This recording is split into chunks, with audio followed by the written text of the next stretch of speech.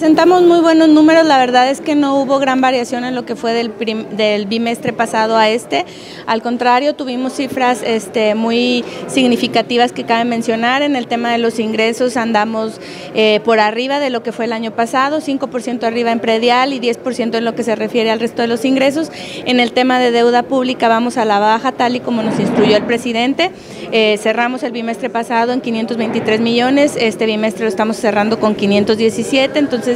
6 millones ya este, avanzados en solo dos meses. Y bueno, en el tema de proveedores, que también es otro de, este, de los que eh, pues están ustedes muy atentos, el bimestre pasado estábamos en 25 millones, este bimestre estamos presentando 28 millones, lo cual este, pues la verdad no es significativo, ya que esto se debe al registro que llevan las mismas dependencias de sus facturas. Eh, en el tema que se comenta también de lo que sea de obra pública, tenemos también un muy buen avance, la verdad es que nos sirvió mucho que la federación nos radicara los recursos un mes antes, a comparación del año pasado que llevábamos eh, apenas 9 millones este, para este bimestre, ahora estamos presentando 40 millones ya de avance, eh, muy bueno la verdad porque iniciamos con los procesos de licitación y este, contratación de la obra antes y esto nos permitió pues que ya se empezaran a ejecutar las obras y llevar un avance presupuestal mayor. Y en el siguiente punto que se sometió a consideración, que son las transferencias y modificaciones presupuestales, también este, muy contentos porque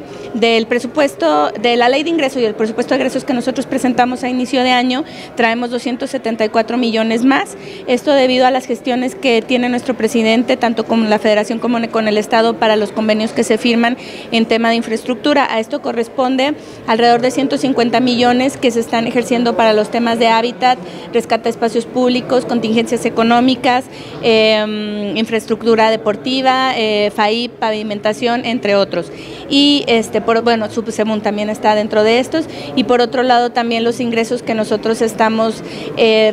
recaudando arriba de la meta que teníamos presupuestada y lo cual nos permite darle eh, una mayor, este, un incremento pues al presupuesto de dependencias que brindan servicio a la ciudadanía, como son servicios públicos, seguridad pública y sobre todo en el tema de medio ambiente, que como ustedes saben, pues a inicio de año eh, se separa lo que es salud y medio ambiente y con esto pues podemos darle operatividad a la misma dependencia.